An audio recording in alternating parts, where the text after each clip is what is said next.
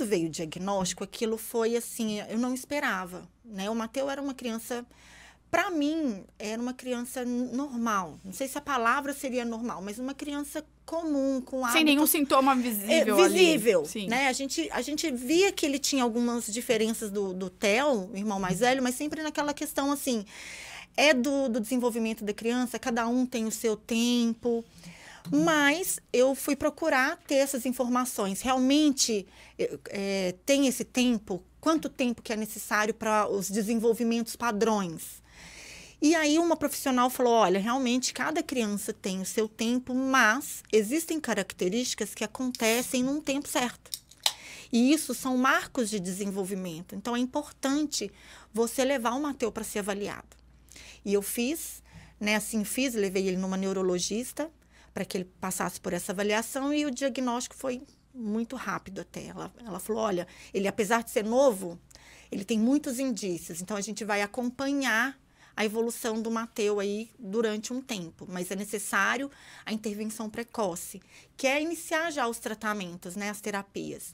Então aquilo para mim foi abriu, abriu meu chão, sabe? Tá, aqueles os problemas de pele assim que ele tinha já eram uma, uma um sintoma do autismo. É Sim. Isso já tem isso Na verdade, tem relação. Tem relação. Na verdade, assim, o autismo não, não é que ele cause alergia, ou alergia cause o autismo, tá. né? Não, ninguém sabe mas é comum crianças autistas serem alérgicas. Tá. Ter alergias de pele, ter desbiose intestinal, que é um outro tipo de questão de inflamação, que também é causado por alergias. E como eu achava que estava tudo dentro do controle, eu demorei a procurar ajuda nas questões alérgicas. E isso foi se agravando para essa desbiose. Ele também teve essa desbiose intestinal. E é comum crianças autistas terem, é muito comum. Tá. E eu vi também que você falou é, dos medos que você teve, né, na hora que o diagnóstico veio, que eram medos sociais, medos financeiros. Aí você falou, ah, abriu um chão. Como é que foi é, é, essa notícia? Você já tinha o Telk, né, que era o Sim. mais velho. Como é que essa notícia chegou, assim, para vocês? para você, pro teu marido? Foi um impacto, assim, muito grande. É, em determinados momentos eu pensei, e agora, né? O que, que eu vou fazer? Como que eu vou fazer? O que, que precisa fazer? Eu vou ter condições de fazer? Parte financeira. A parte social eu me preocupava, mas eu estava muito focada em fazer todos os tratamentos possíveis naquele momento, pensando que eu ia reverter aquele quadro rápido. Né? Eu não tinha noção, a gente tinha, nunca tinha tido contato com o autismo até então, nem outras crianças. Eu, infelizmente, eu não, nem sabia o que significava. Então, eu fui estudar, me aprofundar, pegar é, pessoas conhecidas que entendiam um pouco mais do assunto, conversar com os profissionais. E eu fiquei mais apavorada. Fui ficando mais apavorado, porque as informações eram pequenas, as pessoas não têm muita informação do autismo, né? E aí eu fui ver crianças autistas, o processo que elas passaram, né? Se avançou, se não avançou. Os custos são altíssimos com tratamento, com os profissionais, até porque eles investem também né, em, em cursos. Enfim, foi muito difícil. Mas eu foquei assim: nesse momento eu vou buscar dar o meu melhor para o meu filho.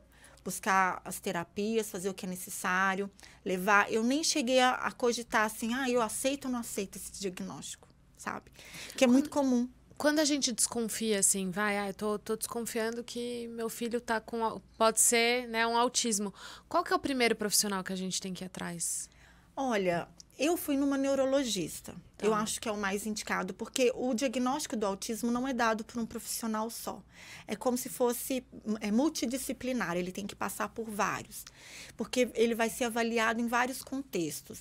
Né? A neurologista, ela avaliou ali é, por exemplo, se o Mateu interagia, qual era a parte cognitiva dele, se estava dentro do esperado para aquela idade. Então, como que ele brincava, como que ele interagia, talvez uma, umas questões neurológicas que eu não, não, não sei exatamente quais foram, todas, né? Depois ela me indicou para que eu passasse numa fono, porque ele com um ano, ele, ele tinha muita ecolalia, que é ficar falando as mesmas coisas ou ficar fazendo sons repetidos mas ele não tinha uma função da fala. Então, por exemplo, apesar dele falar, a fala dele não tinha função. Por exemplo, isso é um copo. Então, não adianta ele falar copo, copo, copo, mas não saber que isso é uma, uma, uma caneca, por exemplo. Né? Ele não saber que o carrinho é um carrinho e é um brinquedo. né? Então ele só falar carro, mas ele não associar o objeto, é uma fala disfuncional. E ele tinha isso. Então, às vezes, ele falava, ele cantava, mas se eu falasse com ele, Mateu, pega a bola. Ele não sabia o que era uma bola. Entende?